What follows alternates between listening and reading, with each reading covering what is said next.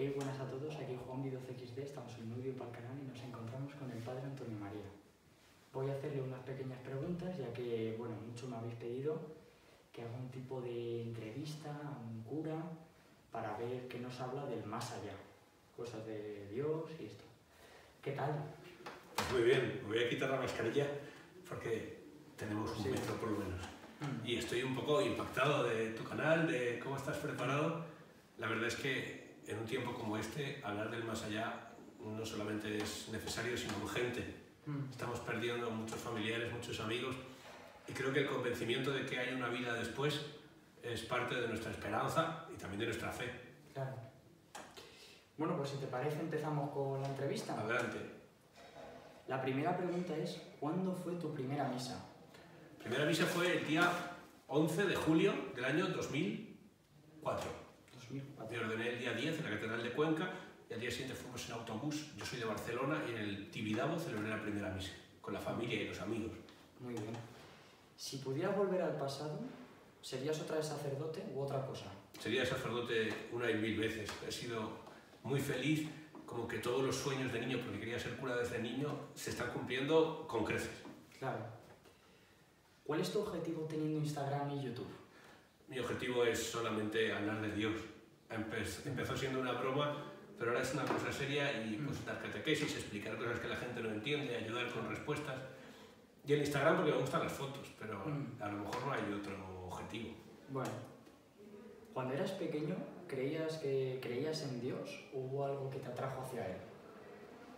Siempre he creído en Dios porque nací en una familia cristiana Mm. y entonces me ha sido muy fácil seguir y me atraía a Él todo, pues eh, las oraciones de mi madre, los lugares donde iba y también el convencimiento de que Dios interactúa con nosotros cuando le pedimos cosas o etcétera. Claro. Esta es una pregunta que nos preguntamos nosotros mucho sobre los curas y esto es si en la etapa de la adolescencia alguna vez habéis hecho un ritual de espiritismo, la ouija. Eh, la verdad es que yo nunca he sabido que alguna gente lo hacía, pero veo que es muy peligroso y que con eso no se puede jugar. ¿no? Claro. ¿Para ti qué es Dios y cómo se creó? Para mí Dios es nuestro Padre y es eterno. Eh, la razón de ser de Dios es que existe desde siempre y eso es lo que le hace ser Dios. No, no se ha creado a sí mismo ni ha empezado. Igual que nosotros creemos, los cristianos, que el alma es inmortal, también creemos que Dios no tiene principio. ¿no? Aquel lugar donde no está Dios y donde además hay sufrimiento permanente por ese mm, hecho de haber rechazado a Dios. Y sobre todo hay odio. Lo contrario de, del odio es el amor. Y cuando Dios nos ama, nos está dando su ser, porque dice la Biblia, Dios es amor y quien permanece en el amor permanece en Dios y Dios en él. Y muchas veces el demonio se revela contra eso y nos hace odiar. De forma que cuando los sentimientos de odio dentro de uno mismo crecen, probablemente estén inspirados o empujados por el demonio. Para usted, ¿qué es el demonio? El demonio es un ángel caído porque fue creado en estado de gloria por Dios para disfrutar del paraíso terrenal del cielo y rechazó eso por no querer servir a Dios. Se- vio a sí mismo como superior a todo y rechazó ese, ese, ese amor a Él que Dios le pedía. Y como lo rechazó, fue condenado para siempre y es un espíritu, un ángel, que solo pretende mm, hacer daño y co- compartir su odio. ¿vale? Y hay más ángeles que también son demonios y tienen un poder limitado, porque están atados por Dios, no, no pueden hacer lo que quieran, pero sí que es verdad que pueden influir mucho y mal. ¿Conoces algún exorcista? Sí, a varios. Y he estado en exorcismos. ¿Sí? ¿Cómo se puede saber si, algún, si hay alguien que está poseído realmente? Pues mira, un amigo me contó que es exorcista y lo que hacía es que en voz baja decía las palabras que Jarito Mene, que en griego quiere decir llena eres de gracia, la parte del Ave María, pero la decía en griego y no la decía fuerte. Y dentro de esa persona, el bicho que lleva, al sentir esa palabra que dice el exorcista, hace algo que no es previsible cuando tú no sabes lo que ha pensado ese cura. ¿Comprendes? Entonces, o da un bote, o pega un grito, o un rugido, y yo eso lo he vivido. Estaba allí. He sido testigo de eso. Da miedo, ¿no? Pues mira, Hace mucho tiempo yo pensaba que solo tenía miedo al demonio y me he dado cuenta que no, tampoco.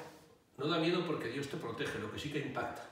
Y si no entiendes, te asustas. Sí, claro. O sea, si a lo mejor vas tú o un amigo, se asusta mucho. Pero a mí miedo no me dio. Me dio pena por la persona que estaba y sentí que debía rezar y ayudarle. Claro. Bueno, la siguiente pregunta es, ¿por qué crees que los ateos no creen en Dios? Hay muchos motivos. Muchas veces no creen en Dios porque creer en Dios les supondría hacer algún cambio. O sea, para seguir a Cristo hay que ser coherente y si no lo eres, pues tiene que cambiar algo. Entonces prefiero no creer y ya está. Otras veces por historias pasadas en su vida o porque han estudiado a medias y entonces creen que la ciencia y la razón van en contra de la fe. Yo creo que hay muchos motivos, cada uno el suyo. ¿El demonio es un ser educado o rebelde? Hmm, depende de lo que le convenga. Mm. Él puede actuar con mucha educación o puede mostrarse en rebeldía. Cuando más débil está, es cuando está más rebelde. Si él se manifiesta con odio y con gritos, es que ya está muy débil, ya está a punto de irse de donde está. Eso está bien.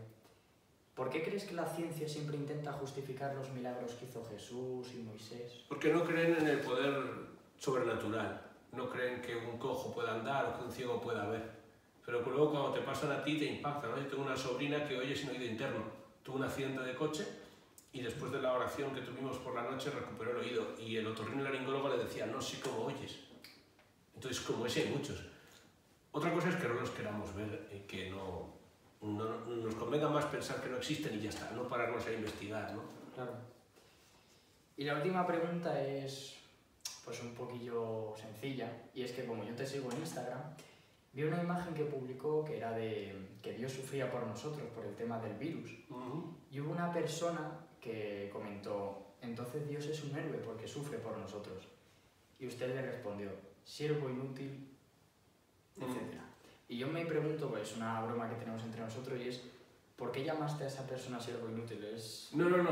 Eh, creo que hay una confusión de términos. Yo entiendo que lo que él dijo es que yo era un héroe. Yo entendí eso. Y yo contesté que yo soy un siervo inútil porque he hecho lo que debo hacer al sufrir por los demás. Ah. Entonces hay una confusión de sujeto y verbo y predicado. Pero la, la- la explicación es esa.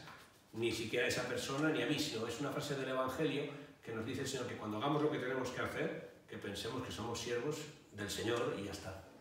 Y la última, ultimísima pregunta es, ¿decir que Dios es un héroe está mal hecho? No, yo creo que no está mal hecho, pero es mucho más que eso. Lo que pasa es que el que tiene lo más tiene lo menos. Cuando una persona es mm, sacrificada y generosa, pues también entendemos que está dispuesta a hacer algo por ti, porque va dentro del significado de sacrificado y generoso.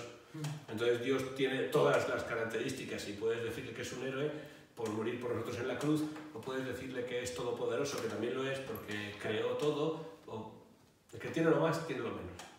Ah, Bueno. Bueno, y ahora sí que me ha entrado así por si puedo preguntar y es, ¿qué crees que hay detrás de la muerte? Más allá de la muerte, Sí. es el juicio de Dios contigo, de si has amado, de cómo has vivido, de lo que has hecho bien y mal, y el castigo o el premio de la vida eterna, estar eternamente con Él o en el infierno que hemos dicho.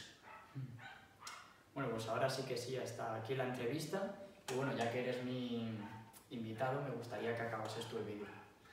Pues nada, eh, no sé si tus seguidores deben ser jóvenes de tu edad, ¿no? Claro.